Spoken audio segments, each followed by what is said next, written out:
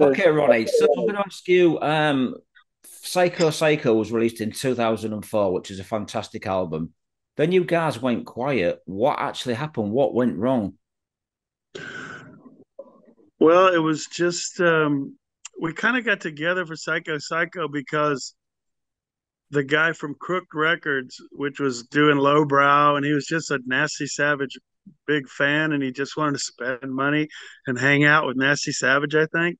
So he wanted to. Uh, he started his own label and did lowbrow and all this, and then he wanted to do a Nasty Savage. He brought us all back together, and we really came together because of that. I mean, he paid us and paid for the recording, and you know, he did all this work and um, that kind of brought us together. So once we were done, we really didn't have any real big plans, and the the record company kind of went defunct. So we really didn't know what to do. We just kind of went back to what we were doing. you know, just kind of, you know, it just it was just a thing at the time to do it to see what happened, and kind of got lost with everything else because nowadays, man, you know, back in the days, we used to lick stamps and send demo tapes, hundreds and hundreds of demo tapes. And I never got one, unfortunately. I never got one. Oh, it sucked. No, it sucked, man. I think I, I think I actually wrote to you through Metal Forces magazine because he used to have a demo section. So I used, to, I used to write to bands from there and just say, I do a fanzine in England. Can you send me a demo? And some bands didn't. Obviously, some bands didn't get me get my letters. So I guess I was one of the unfortunate ones. Yeah, because we, man, I swear I used to send out tons of demo tapes and to underground radio stations. And, you know, nowadays it's all on digital and just they just email it or text. You know, it, people don't know how hard it was back then to put up flyers and, oh, you yeah. know, promote those and, you know, just wow. Back then it was, but we, we really counted on the, the fanzines or so Metal Forces was one of the most awesome um, magazines that used to support metal, you know, Kick Ass Monthly was another one from America, but you know, and then Kerrang came out and went a little more commercialized, Metal Hammer, and you know, then there was just great. Then the regular old fanzines, the paper ones that the kids put together. And, that's what I did. yes, it was. That's what it was about, man. And you know, then trading tapes and yeah. you know, giving them to other people to understand. So what I would do is when people ordered a demo, we sold over 4,000 demo tapes. What, what I would do is when someone would order one, like I knew when I hung out, I hung out with like 10, 5, 15 different metalheads in my town that we hung out, you know? So I knew if I got something in the mail really cool, I would show my friends, say, look what I got. Damn, look, he sent extra stuff. He signed it. so then I would do that. And then they would order too and not just tape it you know the ones who really cared. I would i would always try to make it their special day when they got that package or they might have blood or you know all kinds of crazy pictures or autograph stuff or extra t-shirt. You know we just i would do i just knew how important it was you know to uh but the fanzines Another thing I would do, I would supply the fanzines and the editors with what they needed to do a good feature. So yeah, I'd get good photographs, demo tape, a press release. Hell, if I'm a pro- promote, I'm a producer, a publisher now, so that's what you need is the content. But I had that vision back then. If I could supply you with everything you needed, you you were going to be excited and do a nice big feature. and of course, then they would say, "This is how you get the demo tape." And so it was just really common sense marketing back then, biggest bang for your buck. And like the radio stations, I had a list. Every college in America had a underground metal show in the 80s. And I would sit back and send a demo tape to every single one of them within, you know, six months. I do 10 at a time, five at a time. And um, I'd look at the station and I'd I had room on my the end of the demo, and I, I, had a rock box, so I'd hit play and record, and I could say something at the end of the tape.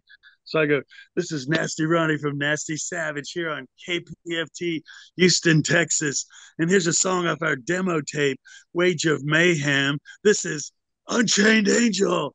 You know, so if I'm a DJ and I get that, I'm gonna go, "Holy shit, this is cool!" Yeah. So what do you think? You know, they're gonna play it. And yeah, so a friend of mine used to work for Metal Forces. You'll probably know him, Mike Exley.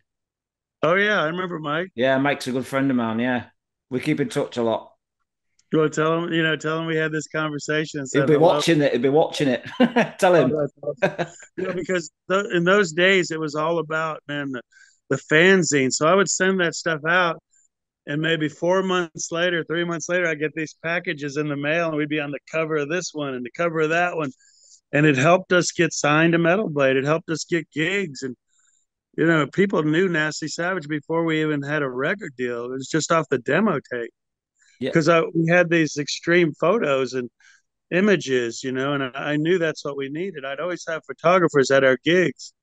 I mean, you was like you was like you was like uh, a, a bondage gladiator back in the day, weren't you? Pretty much. yeah, it was just how extreme can you go? You know, you know what is metal? This is metal, you know, and, and people love that shit. And you know, it was just an impact. You know, I remember at World War Three festival in Montreal, Canada, with Voivod, Celtic Frost, Destruction and Possessed, and Nasty Savage. We had the stage, you know, and we had to do something when we had it. And I remember I had that whole get up there and the smashed even TVs there. Are you still doing all that smashing TVs? You still do all that? Hell yes. Hell yes. That's when I talk about burning images in people's brains. Uh, we definitely get blood blood, uh, bloody. Uh, there's a mass. I work. I have flowers for the sacrifice of the television. Uh, with the morgue, I bring out these flowers and I wear a skull mask, you know, and it, it, I really bring people's emotions into what's going on. And then I'll smash the TV, but I'll mess with sort of like a bullfighter, man, in, in Mexico or Spain. You know, eh, when when you go to a bullfight, you know what's going to happen at the end, right? Yeah. You know what's going to happen to the bull. So, but the whole time they work the bull, work it, work it, work it, and they kind of take you along for this ride. And that's kind of what I do at the TV set. You know, I really have a, a relationship with those TVs. For some reason, I, you know, I didn't have it in 88 in Europe. So, so, what would you do if you was playing live and you had a TV on your head and it came alive and people started watching it before you smashed it? That'd be kind of funny.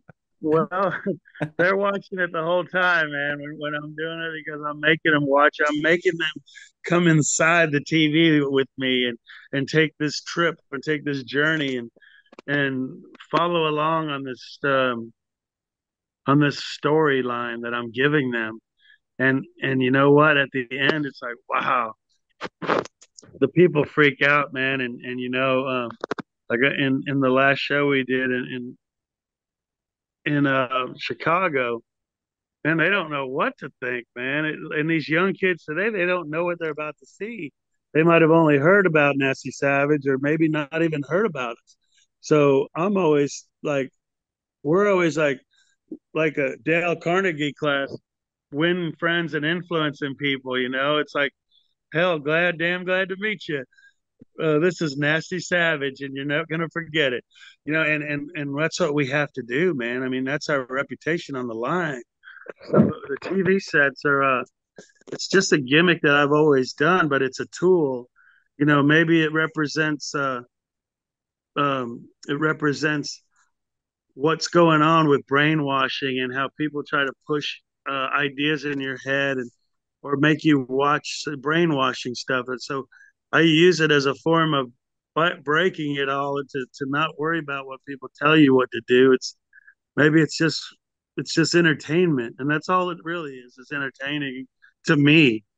You know, people try to figure it out. Um, I don't think anybody else is doing that in heavy metal these days. No, so I mean, you you were a wrestler at one point, weren't you? Because I remember you had a little little feud with Billy Milano. I remember you telling me you're going to kill him and all this shit.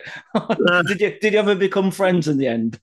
Well, well, what happened? It was because of Metal Forces. I did this interview. It was called Nine to Five with Nasty Ronnie, and then the next month they did one with Billy Milano. And uh, they said something about something, and, and he said, "Oh yeah, that nasty Ronnie's a poser." Uh, I could kick his ass. He, he smashes a fake TV. I could kick his ass in five seconds. so that's what he said in Metal Forces. In Metal Forces, of course, they said, "Hey, Nasty Ronnie, look what Billy Milano said." So I said, "Oh, really? Well." They go, "What do you have to say?" And I said, "Well, if I ever meet him, I'll have a stopwatch." So that's what I said. and then in New Jersey, not too long after that, we were playing a gig. We just did CBGBs, and we were with Whiplash and Hallows Eve and Nasty Savage. And I look out in the crowd when I was on stage, and I saw, I go, "That's fucking Billy Milano right there." I go, "Oh shit!" So as soon as we were done, I just started bird dogging the whole audience. So I and I kept looking and looking. I go, "I know he's in here. I know he's in it." And then I saw him go into the bathroom. Oh, so I said, "Oh shit!" Now back then I was pretty I was not a big guy, really. I was about 180 pounds, maybe not even 200 pounds, maybe close to 200. Uh, said he's a big dude, really wide, like a big bowling ball, you know. And I'm like, fuck it. I said he's going in the bathroom. I'm going in there. So I walk in there, and he's taking a leak, right? So I, I walk in. I put my hand behind his head. I push his, I push his head up against the wall and I got him pinned to the wall. And he's like, "What the fuck?" I go, "Hey, Billy!" I pushed it up and said, "It's Nasty Ronnie," and I brought my stopwatch. He goes, "Oh, brother," zipping up his pants. "Oh, brother, man, uh, I'm sorry. I was having a bad time, man. My dad passed away, and you know, it just wasn't good." I go, "You know what, man? I'm I'm here to to protect my honor." You know, and it ended up that we didn't fight or nothing. But Dan Lilker from uh, nuclear assault was in the bathroom, and so was Richard, my bass player. And it was always so cool when Richard would tell that story when we were out and about doing stuff. Richard would tell that story so awesome, and uh, but we became friends and everything. And matter of fact, I think we're still friends on Facebook now. That's good. But back then, you know, I really didn't want to fight him, you know, but but I was going to uphold my honor to fight because you got to, you know. Yeah. I'd fight anybody back then. I was just stupid, you know, just thinking fighting was cool. It's it's really not cool. No. But when you're young and dumb, you know, you, you do stupid things. But when it comes to your honor and your name and representing who you are, you don't back down. And and that's all I knew is that there's the guy that said talk shit about me. so but but I'm glad it worked out for the best. But it was pretty funny that uh, Richard was there to tell the story. Wow. So so the new lineup then, who what bands were they in before they came to Nasty Savage? Well, um, James Coker, the drummer, he was in Brutality. Oh, I know those guys. They did Nuclear Blast yeah, Records. Man. He's just a great guy. Just a really, just a really real kind of guy, and uh, a real kind soul, you know, and just really cool and mellow He's the coolest guy, and he's a badass drummer. And he actually's been with Nasty Savage for a long time. When Curtis was out of the band, he played uh, "Bang Your Head" twice with us in, in Germany. Yeah, I've been there. It's a good festival. Yeah, man, uh, really good ones. And, and, he was with us then, so he's been with us a long time. Pete Sykes came on board um, pretty much when we got back with Nasty Savage. Pete and Jim were together, and and they would jam with Richard. So when I put the band back together with David Austin, actually David Austin really wasn't jamming with us then either. After we all broke up or whatever, um, I was. They found out. David found out that I was getting this band back together and calling it Nasty Savage, and he he reached out and said, "Dude, I want to do it." So we got David, and then we got Pete, and Richard came with Pete, and so the Jim. So that was three, and we had that was our band you know, right there. And uh, we did our, we started jamming and played a lot of shows over the last few years. And then uh, Richard kind of got out of the band. We took a hiatus, and then he had his fatal accident that happened to him, and he died. And then um, that's when we brought in Scott Carino. Uh, he was in Fester. He was in Lowbrow. He played in Death. Uh, Pete, Pete as a guitarist played in um, Oh shit, he's a real um, like a ripping guitarist, uh, shredder guy, and he played with uh, Jim. Oh man, another really pretty killer death metal band. I can't think of it right now. Uh, but Pete's uh, just another great guy, hardworking guy. He believes in the the past of Nasty Savage. He wants to uphold the tradition, but he also wants to bring some new stuff to the table. He's a hardworking guy. He's got the band room the jam room that we practice in. And, uh, you know, Scott Carino is just an amazing bass player. And uh, he's played in a lot of bands. So that that's really where we're at now. And then, and then Dave Orman uh, jammed with Pete when David left. we were like, oh shit, man, how are we going to replace David? And then Pete goes, well, I got this guy. And then Dave just is a real kind of classical guitarist as well. He could play like Al Di Meola and stuff like that, or just the shredding, uh, hypnotic, mind bending guitar stuff too. So, um, God, I can't think of the band they were in, but it was another heavy band. So, yeah, it's kind of cool that they've all jammed together. You know, it made it a lot easier to to get people to get involved. So, how many new songs have you wrote? Have you got enough material for a new album? Uh, we have probably about four, four or five, I think. And that's what we might do. We might just do a, like a demo tape, like the old days, four songs. Send me, send me one, please, Ronnie. you know, we, we have. Um, there's a guy named Dylan Lafortier, and he does this thing called Head Split Records. Out of he's in a band too, but there he's out of Portland, and he um, he re-released the demo tape on cassette. So we we actually have some demos still. We redid it and we put some extra, a couple extra songs on there. Right. So I think I might have a couple laying around somewhere. All right, because I've, I've, actually I've actually watched a couple of YouTube footage of you guys. It might be on your Facebook page or YouTube. A rehearsal, mm-hmm. a recent rehearsal where you're just jamming without vocals. Is that the instrumental that you played live? Because yeah, it sounded really the, good. That was that was that band. That's the song, the Sixth Finger. Right. Uh, yeah, we we played it. It's on YouTube too. If you go to YouTube, uh, Metal Threat uh, in Chicago. We played it live on stage. Sounds a lot better there. But um, yeah, so that's what we'd probably do. Probably we're gonna get like four songs, record them, get them out there, and see who wants to do something, and then hopefully we'll be able to, you know, write, rewriting some more as well. So, what's the song um, titles for this? For you've got so far for these songs? You got Six well, Fingers. The the sixth finger is one of them. Um, I always wanted to write about the Aztecs and the blood, you know, the blood gods and all that stuff, and the Mayans, you know. And so I came up with this title called Aztec Elegance, and it's just really cool. There's, this, there's a movie called Apocalypto. I don't know if you've seen it. It's Mel Gibson produced. He was the director. Yeah, I've seen it. Yeah, I've seen it. Apocalypto, man, it's so awesome. And uh, so I kind of got inspired by that, and that, that's one of them. I want to tell you all of them, know, because people might steal the, the titles. Uh, there's one called um, Operation Annihilate.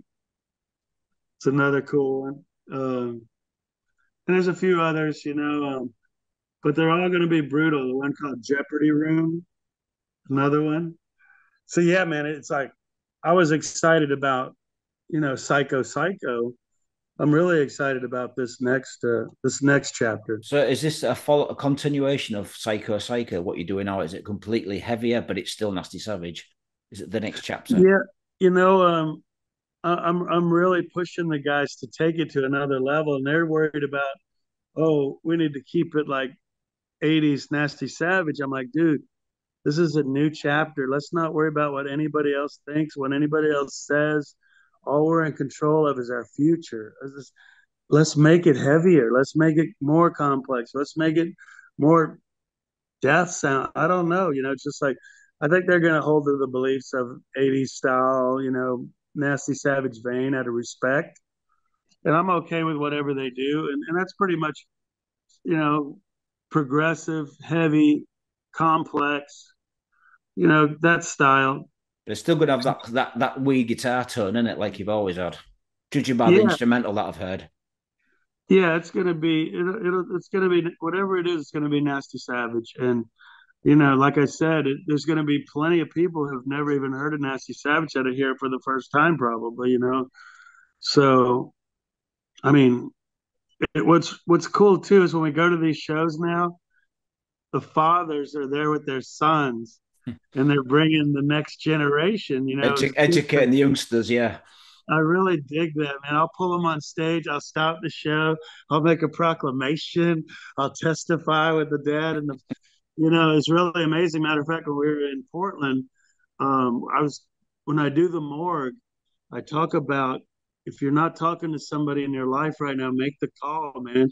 You know, I lost somebody and we weren't talking, and make the call. You know, you know, because you might end up seeing him in the morgue, and then the morgue starts, you know. And then I act out that tragedy with the skull mask and the flowers, and I start using the TV as a as a sacrifice to the the morgue, and you know, sorrow, sorrow.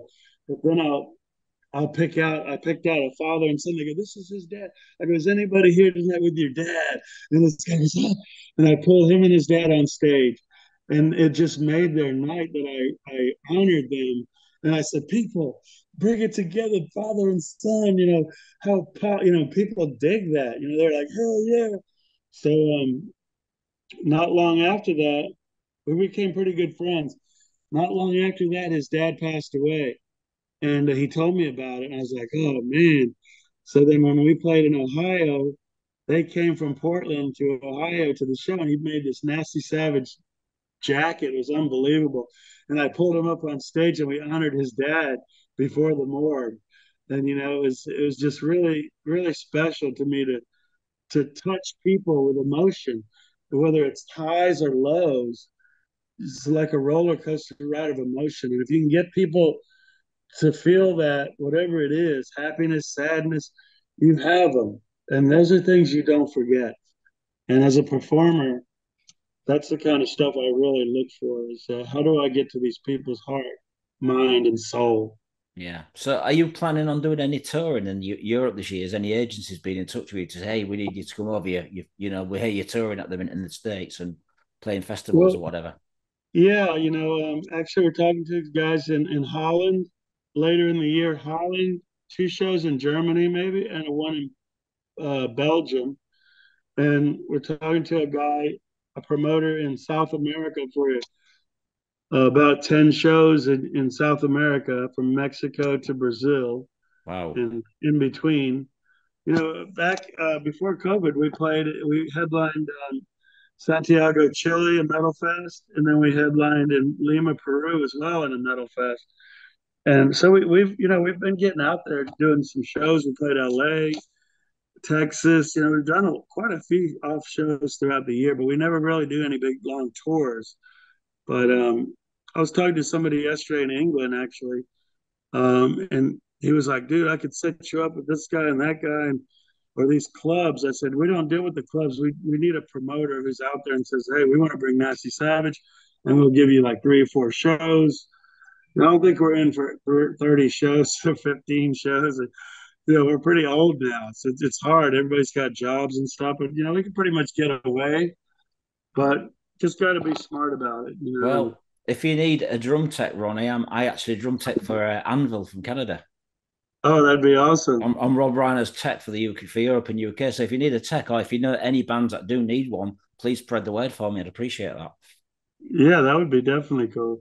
You know, it'd really be nice to have a sound man when we go because, you know, with doing the high vocals and stuff, you, sometimes you're at the mercy of a sound guy who, you know, they just don't. It helps if you get a little of this and a little of that, and they know when to give it to you, effect wise. Especially not, if they know your music, that helps. Yeah, man. It's the worst nightmare I ever have is when I play live at these festivals. Uh, I'll go to the sound man. We'll get a sound check, and by the time we play, they're like half asleep and burn out, and you know. And I'm like, I'll pay him some money. I go, look, here's twenty bucks, man, as a tip. I said, after we're done, if you take care of me, I'll give you some more, but take care of me. And then, you know, half the time, it just sucks, you know. And it, so if I had my own sound man, that would really be good too. Right, just okay. an for an, a promoter to, to bring in an extra guy. Right then, Ronnie, I'd like to thank you for doing this interview. I wish you all the best. Please keep in touch. Let me know you're getting on with the band. I'm here for if you need me for anything. So I'd like to say thank you. Wish you all the best today. And do you have anything to say to the people watching this on YouTube? No, I just want to thank you for everything you've done for uh, the many years that you've uh, supported metal and the bands that you've helped throughout the way, including Nasty Savage. And thank you. There's, there's nothing like old friends uh, because of heavy metal bring us together and you know those are friends forever you know and and medals forever and just be true to what you do guys and and and, and be true to your family your kids your parents and your job your boss whatever you do do it to the best of your ability be true and be honest you know and and if we all did good things the world would be a better place you know help the old lady across the street, man. Move the turtle out of the road. It doesn't matter, you know. Uh, let somebody get in front of you in traffic. You know, just you know, be kind to others. I think this whole world needs more kindness in it. You know, it doesn't matter what politics you're at or where you, what color you are. Just, just enjoy your life, man, and and be kind. And if we're all kind, heavy metal will be even better. Right. Thank you very much, Ron. I appreciate that. So take care of yourself. Keep in touch. Yeah. One other thing, they could go to uh, our, our Facebook page. Like our Facebook page, guys. It's um Nasty Savage, Wage of Mayhem. Just go to Nasty Savage, Wage of Mayhem. And you know what? If you tell me you saw me on this interview, I might just send you a T-shirt or a demo. You never know. But I'm in. To, I'm in. go, to, go, to, go to Nasty Savage, Wage of Mayhem, like it, and send me a message, and we'll go from there, guys. Thank you so much. All right, let's do it, brother. Cheers, brother. Take care, Ronnie. Keep you. in touch. Bye, you, brother. Sir. Yeah, good night. Bye bye, mate.